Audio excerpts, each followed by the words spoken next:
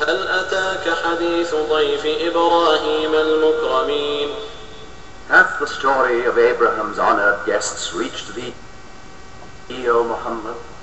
إذ دخلوا عليه فقالوا سلاما قال سلام قوم منكرون When they came in unto him and said, Peace, he answered, Peace, and thought folk unknown to me. فراغ أهله فجاء بعجل سمين Then he went apart unto his housefolk, so that they brought a fatted calf. فراغ إلى أهله فجاء بعجل سمين And he set it before them, saying, Will ye not eat? فأوجس منهم خيفة قالوا لا تخف وبشروه بغلام عليم Then he conceived a fear of them. They said, Fear not, and gave him tidings of the birth of a wise son. فأقبلت امرأته في صرة فصكت وجهها وقالت عجوز عقيم Then his wife came forward, making moan, and smote her face and cried, A barren old woman. peace and salutations. You are now in tune on the one, the force itself. At this time, we call it the Master Blaster Jamming. I am your host for the Underground News Network. Ital IMan. I. We have noted in our first discourse of this series that Quran is multi-level and so are most English words, which borrows from the Arabic. We take our alphabet from the Arabic as well the angled Arabic numbers. This we have in common with the characters of shadows. Quran is a book of many level mysteries. We will tonight take a look at the Anunnaki god Anu as he deals with one of his men, Iblis. In some translations of Quran, it is said Allah, i.e., the God or the gods, which in essence is Alalu of Nibiru, the deposed king of Nibiru who escaped to earth and discovered gold died on Mars. His image was carved on a rock that was his tomb. You are now in tune on the one, the force itself. At this time, we call it the Master Blaster Jamming. Have you not heard of the face on Mars? That's Alalu. When Enki asked the other angels to bow down to the created being Adamu, the Adam, in admiration of the God's great and wonderful work. It is written, Iblis said, in essence, Hell no, I'm not bowing down to no damn created being. Now, understanding, not understanding the wisdom of Allah, the gods, being that all is good and wonderful work of the gods we should marvel. So, in the God's wrath were created rituals that all believers remember the handiwork of the mighty God. So today, each time a Muslim pray, he is paying homage to the handiwork of the first genetic engineered experiments of the Anunnaki in the postures of the prayers, i.e., salah or salat, the word Adam is spelled out. The standing position spells the letter Alif, A.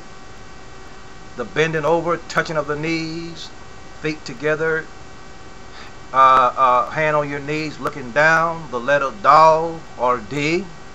And the posture Sajdu, uh, sajdu uh, is uh, the prostration point uh, of touching your face upon the ground is a letter M.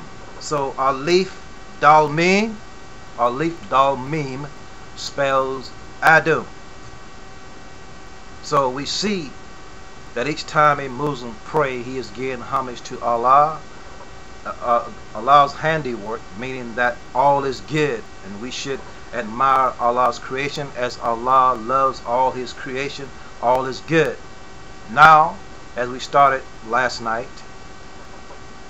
the mighty wisdom of the Honorable Elijah Muhammad and the mystic nation of Islam. We'll try to cover it here in this discourse, but if we don't, we will do another one. Mecca is in the east. Chicago is on the east coast. That's the central point of the nation of Islam.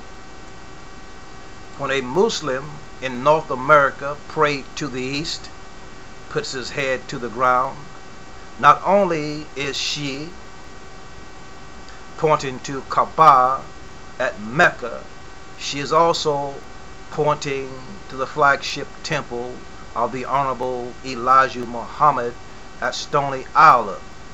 Why Stony Island? When a believer prostrates his head touches the ground or floor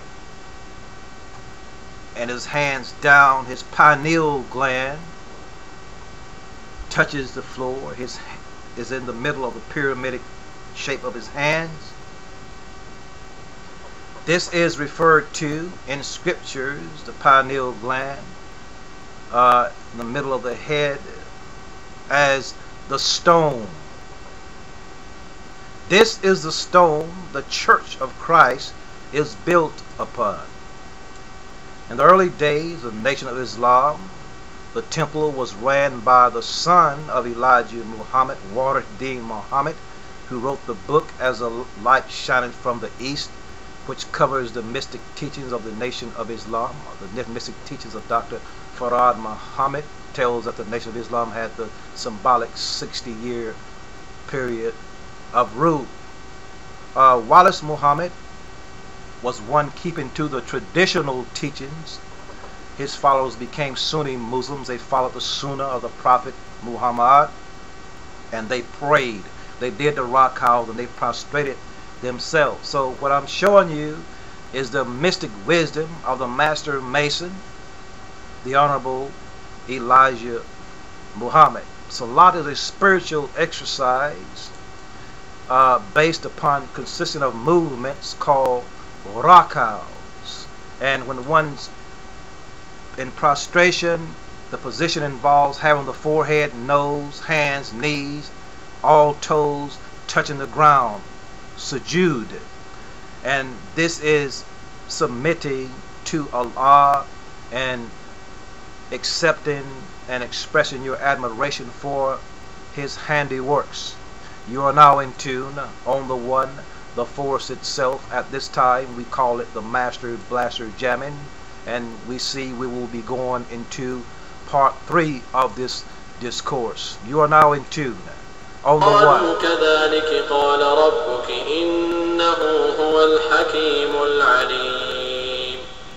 They said, Even so saith thy Lord.